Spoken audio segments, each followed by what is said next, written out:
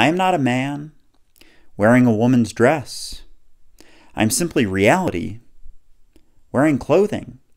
And any label, idea, concept, story, belief you place on top of that recognition is never ever the truth.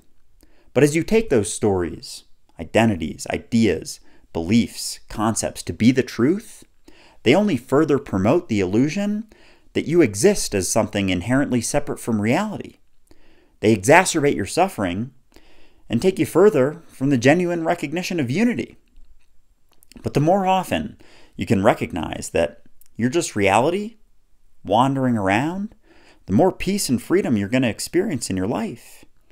Because you are not a name. You are not the story you tell yourself every single morning about what you're good and bad at, what you can and can't do, because that's all based on the past. And you're not the past either. You're just reality, wandering around.